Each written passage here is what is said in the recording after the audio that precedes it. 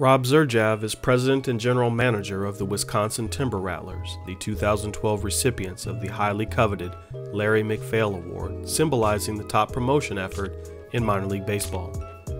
Individually, Rob has been awarded the honor of Midwest League Executive of the Year in 2007 and also in 2012. It's a pleasure to sit down with such a talented veteran of the minor league baseball front office in the newly renovated Time Warner Cable Field club level to talk about his collaborative journey with Pendulum from initial ballpark concept to final project completion.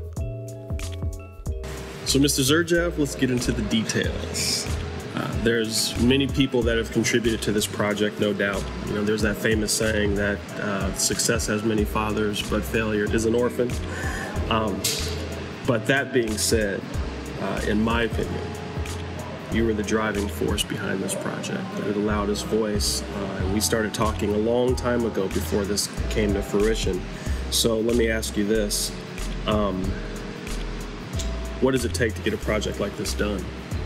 Well, I think for us it takes takes an awful lot, and, and, there were a lot of people that, that were driving forces behind this. I mean, obviously we've been working on this together probably for 10, 11 years. Uh, I just happened to be in the position to, and I was good.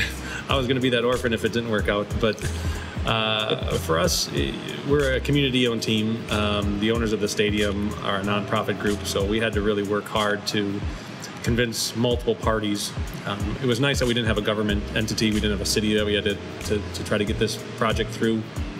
But it really was just about showing that passion, showing what it, what could be done. Uh, it was seeing what other teams were doing and bringing proof back as to what was working, and uh, just a lot of hard work, a lot of keeping at it, and, and, again having that passion that we knew what we were doing, and, and this was going to be a, successful project. So you weren't here for the original $5 million build in 95. You came in two seasons after that. But you follow up here in 2012 as the president general manager of the team with a major renovation, what I actually what I call an addition. So how did your history?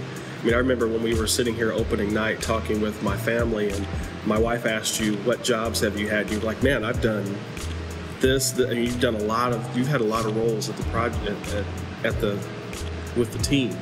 So how does your history with the team play a factor in where we are today? Uh, yeah, I started here as an unpaid intern, and, and what I saw at the time is that my goal was to become a GM of a minor league team, and what I saw from that from that the beginning was you have to be a part of everything. You have to see how everything works, uh, and I did. I ended up in, in, ticket sales and baseball operations and stadium operations, and really worked kind of in, in every facet.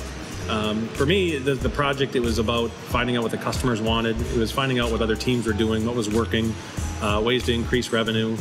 Uh, we have a customer satisfaction survey that we've been giving out for the last 10 years it was taking a lot of that feedback mm-hmm. and finding out people had an issue with with lack of bathrooms, uh, with entrances into the ballpark, uh, with different amenities. We didn't have the upscale amenities here.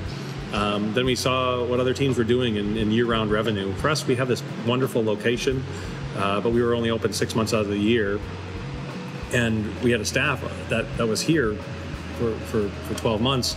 So we wanted to figure out ways that we could increase revenue, um, and we started to see what teams were doing with banquet space, uh, weddings, business functions, uh, and that really took off. And that's real, where a lot of this came together, and it really morphed. And that's where I give give you a lot of credit is listening to what we had to say. Your background, your knowledge of the baseball industry, I think was a big part of how we could fit all this together. Because it was one thing to bring in somebody and say we want to do a banquet facility but it was another to say, well, we also want it to be a club level for the baseball games, and it has to be dual purpose. Everything here had to be dual purpose, um, all the way down to the suites we're now using for uh, for wedding receptions. They're they're they're using it as where the, the bride changes, mm. and, so everything here sort of has this dual purpose, and it really tied together really nicely, and it really feels like it's uh, an extension of the ballpark. It wasn't this giant addition. Yeah, yeah. So that being said, uh, that brings me to this we're now sitting in a space that you and I both had a hand in, in molding, and from design, from style, from color, texture. Um, and I recall during the whole process, we had this reoccurring theme that you and I would talk about. I don't know if we talked about it with anybody else, but I know you and I would always talk about contemporary but not pretentious. That was a big thing. That was a theme for us. So, can you talk a little bit about your initial vision, some of the things that you had seen, and how that played into where we arrived today? Yeah, for uh, for us, or I guess for me, it was it was big about clean, clean lines, something that was going to be timeless, uh, that wasn't going to be dated. Uh, we, we went to a couple of other ballparks, saw what they put together, uh, got their input uh, from acoustical tiled ceilings with low ceilings. That was the feel we didn't really want. We wanted more of an open space. Uh, to the, the lighting was a big issue for some of the teams. Uh, sound was a big issue, um, even to the point where we, we installed the nano wall here to give you that feel for, for the ballpark when uh, when the games are going on. You can feel like the, the atmosphere inside the club is is part of the game, and it's not just its own separate space. And we saw that at a lot of other parks where it was a nice space, but you had no feel during the game. It was just separate. Um, but yeah, we really wanted something to be elegant, but at the same, you're still at a ballpark. Eh, but we didn't want it to always feel like you're at a ballpark either. So there's a lot of factors that went into it, and I really think we we we accomplished what we wanted, and, and it, it turned out really nice. Well, I'm glad you brought up the nano wall because there's things that, you know, as as the design process progressed, there are things that you know, we decided collectively, uh, and in some cases, you said, "Hey, this is kind of a direction that we want to go in," um, and that took convincing to for for some. Uh, you know, uh, I mean, I remember when we first started talking about the banquet space. That was not just convincing. We had to really back that up with with data. You did. I mean, you did due diligence on that. So, for the benefit of others who are looking into, you know, we talk with other people that are looking to do projects like this, and they're saying, well, hey, how do we justify? You know, is this, was it worth it?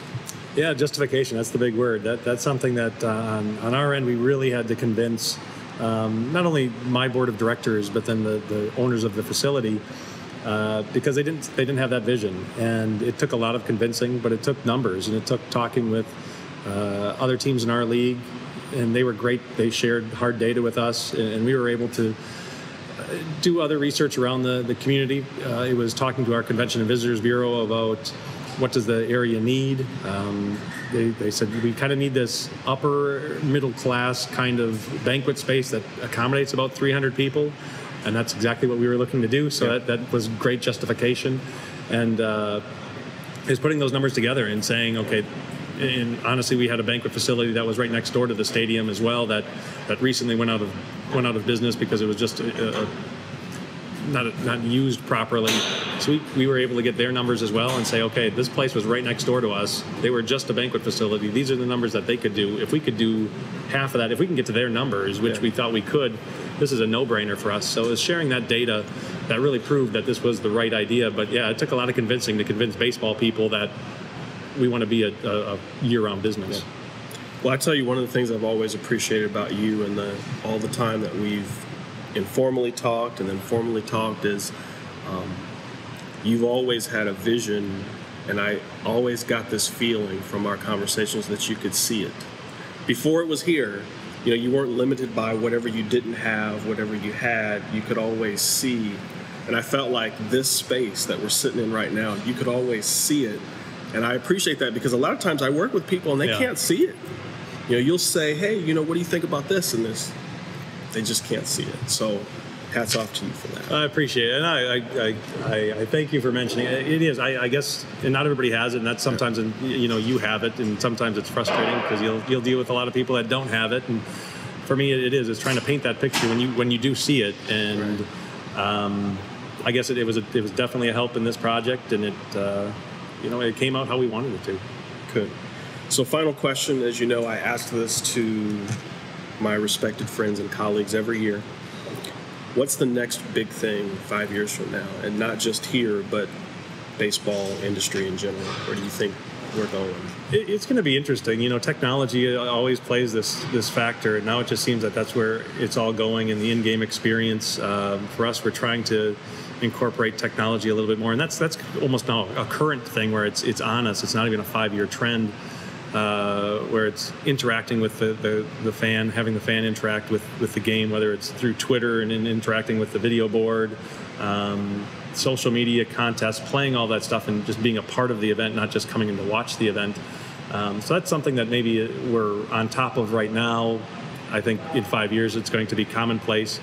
Um, it's a good question. It, it's it, you kind of try to look for that next big thing, and for us, in a lot of ways, we see what other teams are doing, and we'll, we'll try to, to to just kind of let them experiment first, and then we'll, we'll jump on that train. Um, but again, I, I, think it's it's always going to be customer service based for us, customer focused.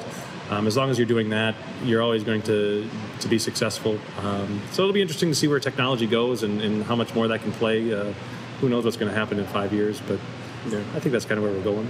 Well, I mean, two seasons ago, maybe three seasons ago, you guys were doing text orders food service wise in the stands, which I thought was amazing because you guys have the fast lanes on both ends, which is incredible. Shout out to Poopy, by the way, for amazing food service here at the ballpark. But I mean, you guys have always, in my opinion, been pushing. You know. We try, you know, and that's where on, on, the technology side we try to be cutting edge. Uh, it, it's funny you bring up the the ordering from your seat, and we thought that was going to be a, a huge deal. We loved it. Uh, with this renovation, because of the expansion of our, of our, concession stands, and the way we, and again, it, it, worked perfectly because one of the issues we had was long waits. So we thought adding the, the ordering from your seat was going to be a, a solution to that. But also with the renovation, we added more point of sale. Right. Now we don't have anybody waiting in line, so we saw the number of people using their phones to order food went from you know it used to be uh, say 100 a game down to uh, if we were getting two three people a game because they didn't have to wait so that's one of the things technology we love it we thought it's such a great product uh, and it kind of went away because I guess we designed it too good where we didn't have waiting anyway. But well, you know what? That's an, I didn't I didn't think about that. This season, you would have experienced that out of necessity. Prior to the renovation, you guys had figured out a way to supplement and deal with what you had. Yep.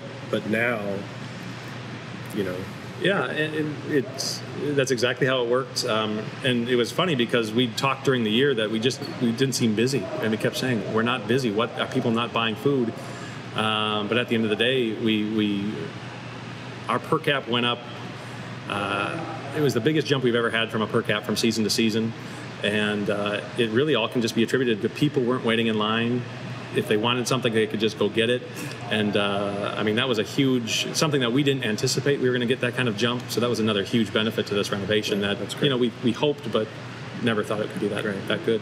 So, I mean, I think it's proof that well done renovations or additions proofs in the pudding, right? It, it is. You do it if you do it right. You have to have that vision, and I think you know, listening to the customer is important. Listening to your your employees, the game day staff, everybody, everybody has some input. Take it all in, and um, I guess you get end up looking like the good guy at the end. But yeah, all this was everybody else's their their thoughts and their concerns and their issues at the ballpark, and we just addressed them and, and we listened to them, and then you were great listening to us, and that's that's when you have a winning team. Awesome.